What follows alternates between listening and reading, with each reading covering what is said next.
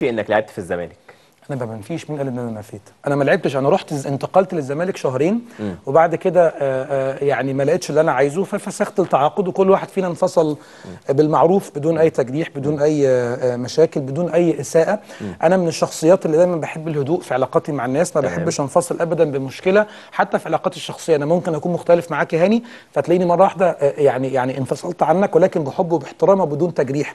حط تحتيها مئة ألف خط ولكن الموضوع تحول ل لكلام سخيف جدا. أنت عارف لو من 20 سنة أصدقه. آه. لكن أنت دلوقتي بتتكلم في آه، آه، آه، يعني تسمح لي أتقمص دور المذيع وأسألك أو قبل ما أسألك أقول لك بلاقي كلام غريب قوي هاني إن عمر ربيع سين لعب في الزمالك ما ينفعش يكون عضو مجلس في النادي الأهلي.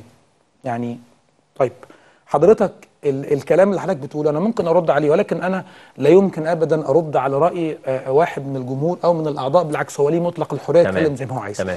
وأنا الوقت المناسب أرد عليه بالورقة وبالقلم. أنا اسالك يعني ست أسماء وتقول لي الناس دي مين وعملت إيه. مبدئيا الكابتن محمود الخطيب رئيس النادي الأهلي لما حب يستعين بشخص في لجنة الكورة.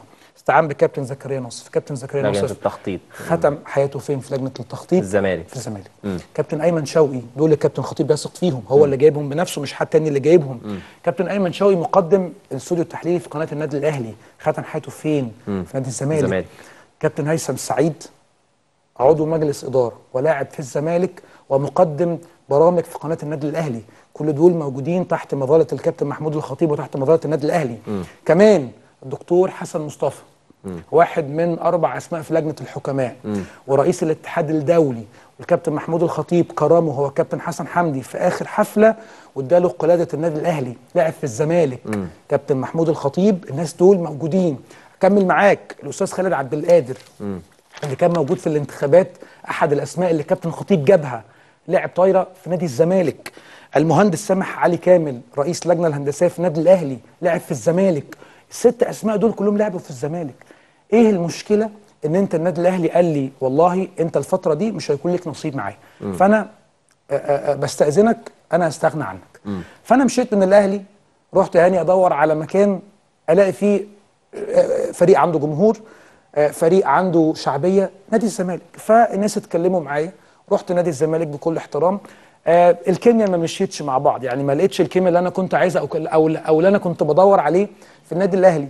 فانفصلنا وفسخنا التعاقد. هل أنت شايف يا هاني ان إن عمر لعب في الزمالك وان هو وقع للزمالك بعد الست أسماء دول واحد منهم قامة كبيرة جدا زي الدكتور حسن مصطفى في لجنة الحكماء وإن هو رئيس اتحاد دولي لعب في الزمالك كابتن زكريا ناصف اللي موجود لحد دلوقتي في النادي الأهلي كابتن أيمن شوقي كابتن هيثم سعيد وآخرهم كابتن محمود الخطيب اختاروا بنفسه.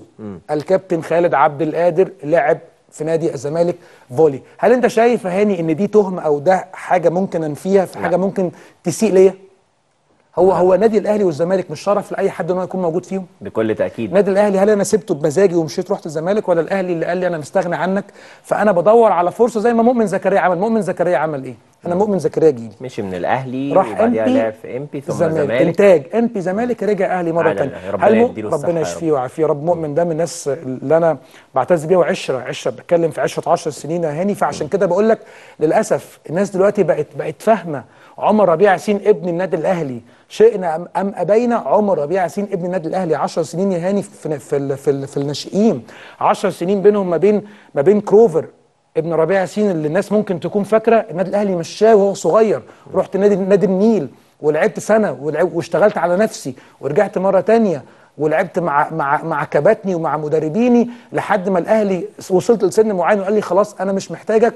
فكنت بحاول وبعتمد على نفسي. وخلي بالك أنا لا عندي بقى حد بيساعدني ولا عندي حد بيدعمني ولا عندي حد ممكن يقف يعني في ظهري الا ربنا سبحانه وتعالى. والناس اللي بتحبني يعني عشان خاطر طبعا الكابتن ربيع وعلشان خاطر يمكن للأسف أخدت قرار يعني مبكرا شوية قرار الاعتزال ولكن هتكلم عليه بقى نتكلم عليه بعدين. ولكن لو أنت شايف إن في حاجة تسيء ليا بمروحي للزمالك نادي الزمالك طبعا الكبير شهرين أو ثلاث شهور هل أنت شايف إن دي حاجة ممكن تسيء ليا أو حاجة إن. أنا أتكسف لا. منها؟ لو هاني يعني اللي بيتسأل فالاجابه لا. انت شايف الأسماء اللي أنا قلت لك دي لا لا هو على فكرة حتى لو حتى لو؟ مفيش أسماء يعني ممكن بالنظر للأجواء الحالية جماهيريا ممكن لو حد حب يستغلها ضدك هيستغلها ضدك. طب أنت شايف إن بعد لكن الأسماء لا بعد الأسماء اللي أنت قلتها دي كانت إجابة مقنعة جدا. بقول لك بل بالعكس في ناس ممكن تانية تكون لعبت في زمالك أو يعني العكس وداخلة انتخابات الأهلي هتقبل لو ما اتعملش عليهم نفس الحملة اللي ممكن تتعمل عليك. أنا أنا كده كده فاهم يعني فمش هدخل في مش هقول رايي بس والله العظيم يعني. الأعضاء- لأن أنا عارف كويس إزاي بتدار ال- الحملات الإلكترونية وسهلة جدا وممكن بثلاث أشخاص تعمل رأي عام من 5000 شخص 5000 شخص يجيب لك 50000 شخص. فأنا عادي بالنسبة لي يعني لكن أنا بقول لك إن إزاي الواحد ممكن يوجه ضدك حملة دي سهلة قوي طب أنا عايز أسألك على حاجة.